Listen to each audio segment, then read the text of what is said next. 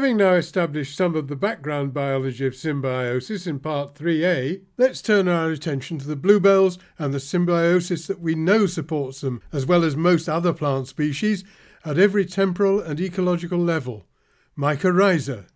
In its various forms, it's all over this picture and in any other landscape, a fundamental part of the scene, but we can't see it, below ground, in soil and roots, and microscopic.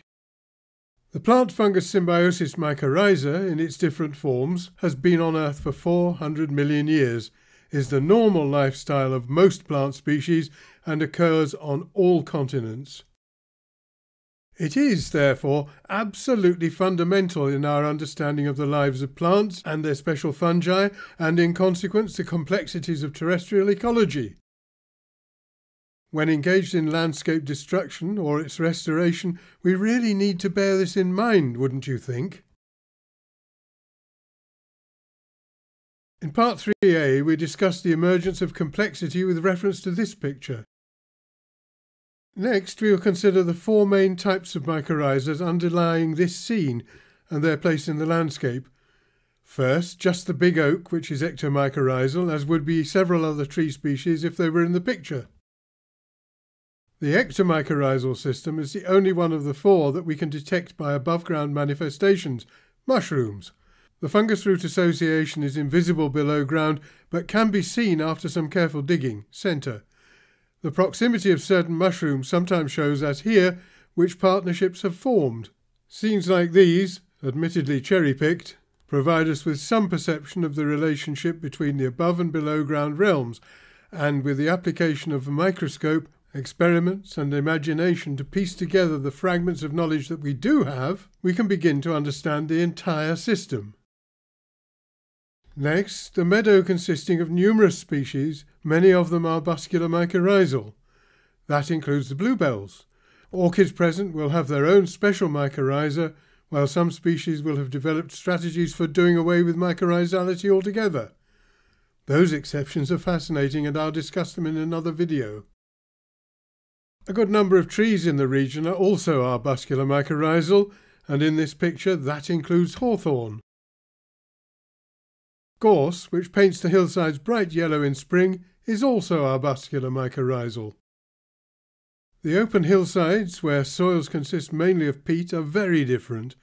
Phosphorus is not the main limiting nutrient, whereas nitrogen is, so many plants growing there require ericoid mycorrhizal fungi, which can mineralize the organic peat, releasing inorganic nitrogen compounds that the heathers, bilberry, and other ericaceous plants require. Also, there will be orchids with their special needs and herbaceous plants and grasses that associate with arbuscular mycorrhizal fungi with varying commitment. With sufficient understanding, we can read a landscape Given knowledge of the underlying geology and the soils created, and assessing plant communities even from an informed glance at a distance, we can determine which mycorrhizal communities might be present and then why there are different habitats. An exercise I conducted in real life when objecting to the landowner's desire to plant trees all over this mostly treeless landscape.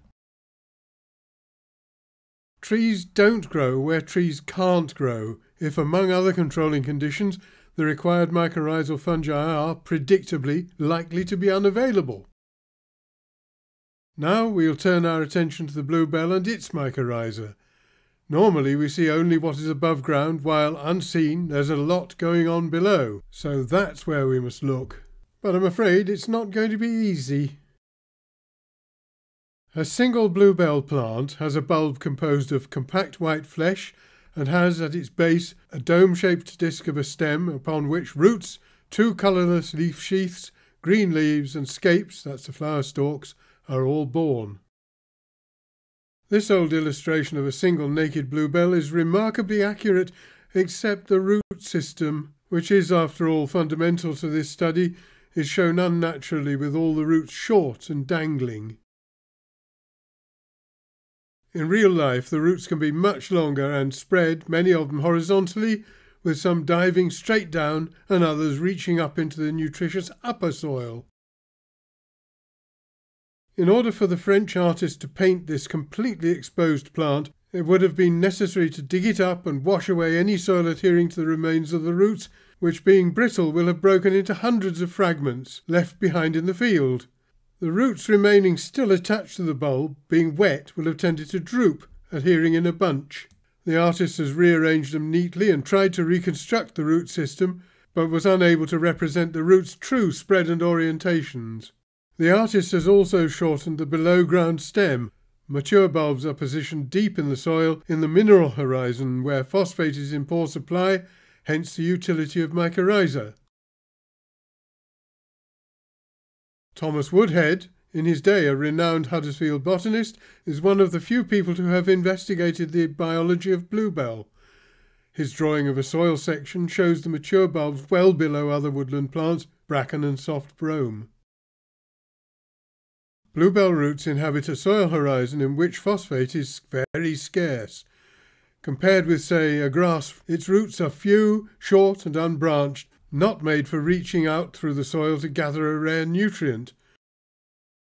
From the earliest days of life on land, plants have always engaged with fungi, forming symbioses which overcome this nutritional limitation, mycorrhiza. A wide-ranging fungus can better forage for phosphate than its plant partner, which in its turn will assist the fungus with the product of its photosynthesis, carbohydrate, Many modern plants are completely reliant upon this cooperation, which has been field tested over several hundred million years. Most bluebell roots for most of the year are packed with mycorrhizal fungi of the order Glomeromycota, here represented by photomicrographs of a glomus and a Scutellospora species. At our Yorkshire field site, it was Scutellospora that dominated the mycorrhiza from root emergence in mid-August until leaf flushing in late winter. Experiments showed that it was pumping soil phosphate into the plants via their roots at a time of maximum growth. From New Year, other species began to take over, their individual functions difficult to determine. Here is a section of root well colonised via mycorrhizal fungus, what might we see if we were to slice it in two and then swivel it through 90 degrees to look at the cut end? I don't have a picture of that, but rather conveniently there are pictures of 400 million year old plant fossils showing a similar mycorrhiza and telling an important story. Here we're dealing with the most ancient of several mycorrhizal symbioses, our arbuscular mycorrhiza, which we know from fossil evidence and DNA studies co-evolved with land plants some 400 million years ago. Here's a cross-section of a plant fossil from the Devonian period proving that mycorrhiza evolved along with the very earliest of the land plants. The white ring shows where the fungus has occupied the rhizome tissue. The arrow is pointing to one of many ancient arbuscules, highly branched organelles inside root cells where nutrients are exchanged between the plant and its fungal partner. This is it. Compare the ancient arbuscule with its modern descendant here of the fungus glomus in a bluebell root. Is that not extraordinary? The fossils were first described by Kidston and Lang between 1917 and 1921, and a lot of further research has confirmed the presence of mycorrhizas promoting the theory that green plants and fungi evolved the terrestrial lifestyle together. Imagine the excitement that ricocheted around the mycorrhiza labs of the world. I was there at the time when a Canadian team led by Luc Simon reported that their DNA studies confirmed the ancient origin of mycorrhiza, the date being coincidental with that of the earliest known fossils 400 million years ago. Before going any further, I think it's important to recognise that being mycorrhizal, the bluebell is anything but unique. The majority of plants on the planet are involved in one or another of the several types of mycorrhiza, while the few that are non-mycorrhizal have evolved mechanisms that have enabled them to opt out. However, we're here to look at just the bluebells and their mycorrhizas. Why bluebells? We must look at the components of nature before we try to understand how it works as a whole, and bluebell is the plant about which I know the most, having spent 12 years studying its ecology, above ground and below ground at the University of York. Unlike the example trees with mushrooms that we saw, There is nothing to see of the symbiosis that sustains Britain's favourite wildflower. But if you don't look, you don't find. First, you must dissect the subject of your inquiry. The senses and the mind must combine all the facts and intricacies of the unseeable, piecing together as many of the parts of an ecosystem that modern science can find out, eventually constructing an understanding of the whole. With permission, of course, for a whole year I dug up clumps of bluebells and took them back to the lab where I divided each plant into its constituent parts roots, bulbs, leaves, and flowering stalks. The parts were sampled and assayed for fresh weight, dry weight, phosphate content, and soil phosphate, while a root sample was taken for staining to show up the fungi inside, under the microscope to be identified and assayed for colonization intensity. That created a lot of data which showed changes in the allocation of biomass and phosphate inflow, which in turn correlated with the quality and intensity of mycorrhizal colonization. Some desirable investigations are just impossible, such as the format of the fungus outside the plant roots, in the soil where the fungus exists as a network of fine microscopic fibres too small to see, if you dig to have a look, the network is shattered, entirely losing its structure. You finish up with a handful of soil with nothing to see of these special fungi. Maybe one day someone will invent a method that overcomes this shortcoming. It would be very interesting. We can, however, sample bluebell roots which, after processing, we can visualize, categorize, and quantify. The roots need to be rendered transparent and the internal fungus stained so that it can be examined with a high power microscope, the method can be hazardous. When nearing the end of a career in which I used stains of sometimes appalling toxicity, a German lab discovered a superior and completely safe alternative. Vierheilig et al. had discovered the usefulness of Pelikan ink, not known in the UK. During a formal teaching course, one of the participants was a fountain pen user, his pen loaded with Parker Quink. He provided the stain we needed, and the result was spectacular, so immediately we converted to Quink as our routine mycorrhiza stain. Having been cleaned, cleared, and stained, roots are laid out neatly on microscope slides. Here are some of the slides made from root samples gathered throughout a growing season, August until July, ready for microscopy. The intensity of blue, quink of course, shows just how packed these roots are with fungus, all the year round. Examination showed that various species colonised in sequence, providing various ecological services. Seen close to, we can see that September roots, only a couple of weeks since they emerged anew from the bulb, were already well colonised by what turned out to be the fungus Scutellospora dipurpurescens. However, it is very, very difficult to differentiate the 11 or more fungi that associate with bluebells, though not completely impossible with practice and the help of a DNA sequencing colleague. It's even more difficult to name them, they do make spores of a sort which are highly characteristic of each species, but those are always found apart from the fungus in soil samples, so almost impossible to relate to the fungi they belong to uh, unless by chance a spore is clinging to a piece of root. If we can't apply names to the fungi, we can describe and quantify recognizable differences. In the autumn, roots will look like this, absolutely packed with fungus, probably one we can identify with confidence, that's Scutellospora dipurpurescens. By way of contrast, though, here is an unusual bluebell root that has not been colonised. While here is a root fully colonised by a different species of mycorrhizal fungus. Can you tell? And here yet another species of mycorrhizal fungus, from its structure, with those globose vesicles, recognisable as a species of glomus, but I couldn't say which one. This specimen has unusually retained some attached fragments of the external soil phase of the fungus, and we can see where it has entered the root in two places. The globular structures are oil-filled vesicles, a nutrient storage system. External hyphae enter the root by two methods.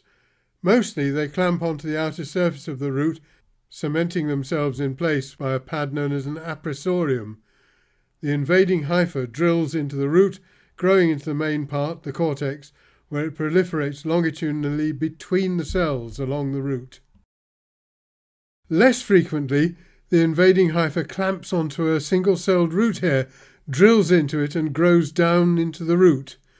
When it reaches the cortex, it exits the cell interior and, as is happening in the more usual sort of entry on the left, proliferates along the root between the cells. Here we can see the internal hyphae travelling along the root with fuzzy items off to either side. These are the little organs that facilitate nutrient exchange between the fungus and its host bluebell, the arbuscules, literally little trees. Here is an arbuscule in close up, less like a little tree than some. Here is where the fungus provides the bluebells with phosphate from August until New Year, when other fungi take over. This sort of arbuscule is a thick, twisted coil bearing tufts of fine elements. These arbuscules are quite different, much more tree-like, and belong to a different fungus, the glomus species we saw earlier with its vesicles.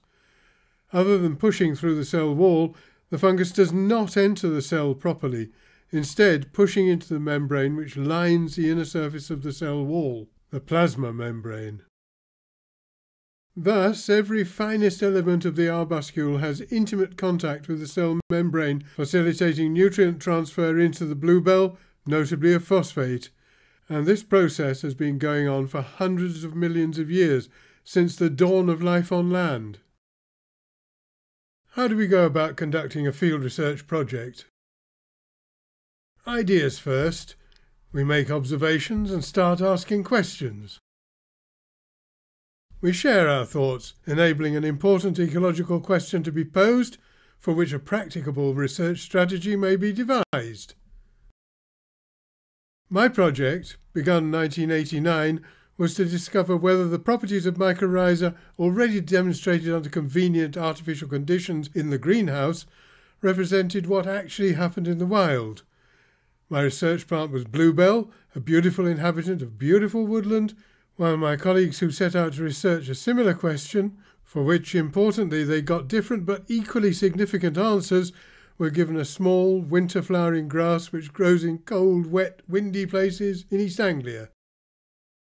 We measure and record every parameter we can think of, creating a vast spread of ecological data that may or may not be used later. The important thing is not to miss information we might eventually need. In my work, I first took samples for detailed analysis, in the first exercise carefully lifting the bluebells aside, removing some roots and replacing the plants. I also sampled soil from around the roots for the extraction of spores. Both samplings provided plenty of data, but unfortunately in practice the two did not correlate.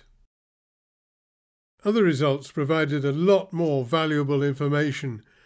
At the same time, individual field collected bluebells were divided into four parts to ascertain phosphate, P, inflows, and allocation of P and carbohydrate, C, to the various bluebell tissues, plus root colonization by mycorrhizal fungi throughout the seasons of a single year to demonstrate, or not, an ecological function of mycorrhiza under field conditions. That experiment provided the first evidence of mycorrhizal behaviour in an undisturbed natural ecosystem by demonstrating the temporal coincidence of root colonization by mycorrhizal fungi and the inflow of phosphorus in adult bluebells. There are numerous ways to find out how the bluebell mycorrhiza works. Here, a field experiment in which a fungicide was used to see how bluebells in the field get along without mycorrhiza. The answer? Rather badly, confirming the conclusion already reached from the physiological study that bluebells and their fungi are dependent upon each other. Question. How do plants, including bluebells, fare when inoculated with different mycorrhizal fungi? Answer. Some extremely well, others, in particular the bluebells, very poorly. The bluebell mycorrhiza works at its best in woodland left alone undisturbed to complete its life cycle in the same place every year while spreading unhurriedly. My research at York generated a small cascade of peer reviewed publications for other scientists to read. Also, in the magazine British Wildlife, presented to a wide audience of naturalists the scientific papers would be unlikely to reach. And then to a very different but interested audience in Resurgence magazine, self described as at the heart of earth, art, and spirit, followed by a translated version in an Italian magazine with a similar non scientific audience. Locally in northwest Scotland, Bluebell mycorrhiza found its way into the Skye and Lochalsh Environment Forum's website and in 2023 this YouTube channel. We must keep thinking about what we know about bluebells and other biological unknowns and what we don't know, alongside many other ecological puzzles, extending our thoughts from the individual through the local to the global scale. Our research has warned that if humans severely disturb their favourite wildflower or its fungal partners, yes, lab experiments and field trials showed that bluebells do not like soil disturbance, both will decline until they disappear, leaving us wondering why it all happened. If we don't do it by habitat destruction, climate change will probably do it for us anyway. That's a conversation we really must have. Of course, we know that is precisely what's happening. Biodiversity is declining worldwide. How could that be? Probably in many ways just human ignorance and greed, but unless we look deeply into the difficult science, we will never see it from nature's perspective. If we want to understand nature, and we really need to, this branch of the biological sciences, with others, is essential, indeed fundamental, but please don't expect it to be easy. Nature has had four and a half billion years in which to become complex, self sustaining, and, for us, difficult to comprehend, particularly if we don't try to find out. If we seek to understand nature, we will realize that it's not our job to exploit or restore it, but to give it space to function as it used to before we came along. Nature can be remarkably resilient if allowed to carry on without our interference.